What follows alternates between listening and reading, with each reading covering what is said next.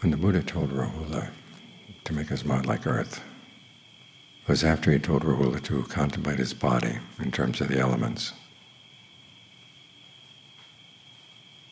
the properties that you have and your experience of the body as you feel it from within.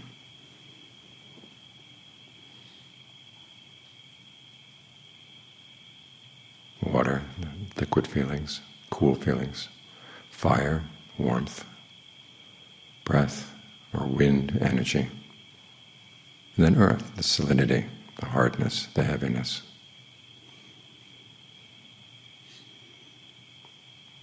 So as you contemplated these properties, as you experience them, then he said, make your mind like those elements. So where do you feel the earth in the body right now? Where does it feel solid? You can think about your bones. And the question of making your mind like earth would be asking yourself, when someone says something to you that's unpleasant, what do your bones have to say? Nothing. When there's a pain in the body, do the bones complain? You may say the pain is in the bones, but they wouldn't agree with you. Your experience of them is very different from their experience of themselves. That's a good thing to think about. When the mind is upset about something, when it's worked, worked up about things, ask yourself, well, what do the bones have to say? Nothing much. What does your blood have to say? The blood just gets pushed around. It doesn't have any opinions. That means the trouble, the suffering you feel is all generated in the mind. And so you have your choice. Do you want to keep on generating it or not? Of course, there's the extent to which the mind doesn't seem to be under your control. It'll start thinking things that you don't want it to think, which is why we have to meditate. One of the purposes of the meditation, as the Buddha said, is to learn how to think the thoughts you want to think and not think the thoughts you don't want to think. And as you meditate, your sense of what's worth thinking, what's not worth thinking gets more refined. In the meantime, you train yourself in endurance, because pleasant things will come up, both in terms of what other people say and pains in the body. And you want to learn how to depersonalize them. Venerable Sariputta gives some advice. He says, when someone says something unpleasant, remind yourself simply that an unpleasant sound has made contact at the ear. that contact is based on things that are inconstant. It comes and it goes.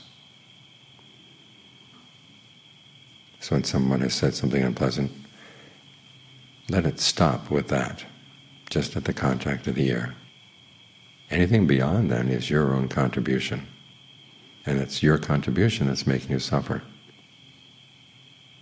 So look at that. This is your addition to things.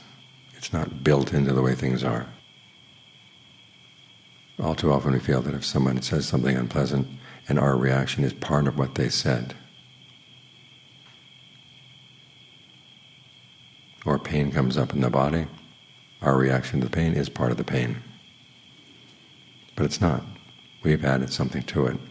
And you want to dig down for a while and see what is it we're adding.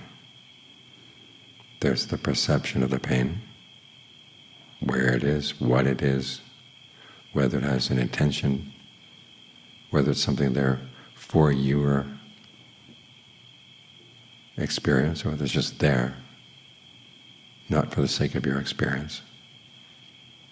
It's not there to bother you. And in itself, it doesn't have any meaning. We give meaning to it. We ask ourselves, is this pain a signal of something that's we've got to look into, something we've got to change? But that's our addition. We're sitting here meditating, and you have a pain that's based on the posture. Try to be with it as long as you can. If you find that it makes it impossible for you to focus on the breath, okay, then switch your positions. But otherwise, See if you can stay with the breath at the same time that the pain is there. And notice what happens when you're not focusing on it. It goes into the background, it changes. And then when you focus on it, it changes into something worse. Why is that? What did you do?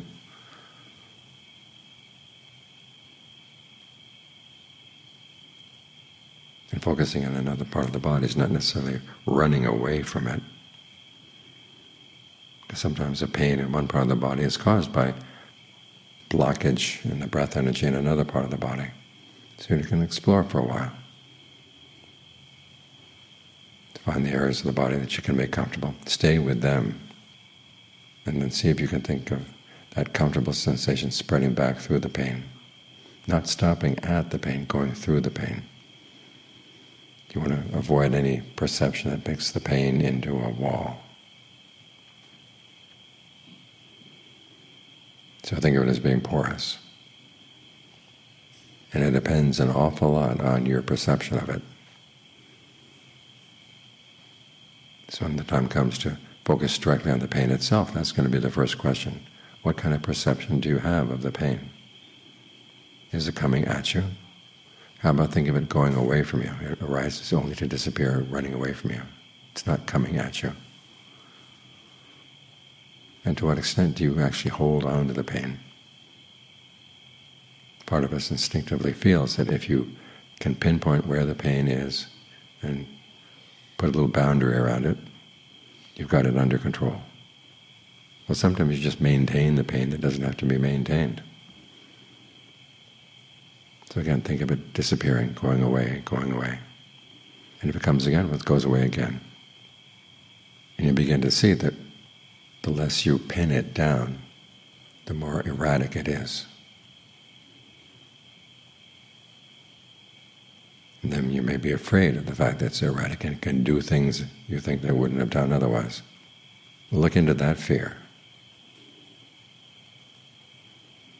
There's a lot to explore here. There's, the Buddha had good reason to make pain the prime focus of his teachings. Because when you get on not only to the physical pain, but also, more importantly, into the mental pain, a lot of the mind's habits just gather around.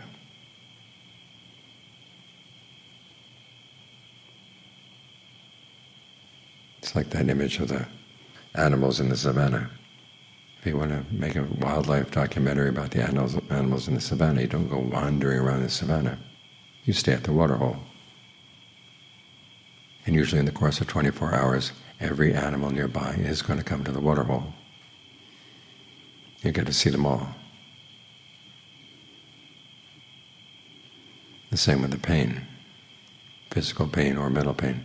You see the mind's conversations coming from all kinds of directions. And you begin to learn how to identify which voice is dominant at any one time. What happens if you decide you're not going to listen to that voice? You're going to change the narrative. As the Buddha said, feeling and perceptions are mental fabrications because they have an impact on shaping the mind. So there you are, you've got the feeling of pain and the perceptions around the pain. Those are the important fabrications that you want to understand. And when you understand them, it goes a long way to understanding all the other bad habits in the mind. But all this builds on that attitude of making the mind like earth.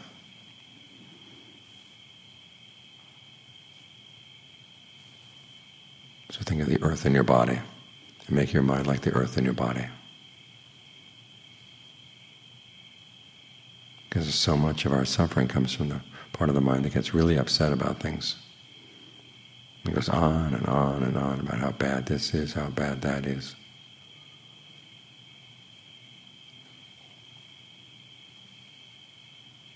This is where you want to side with your bones.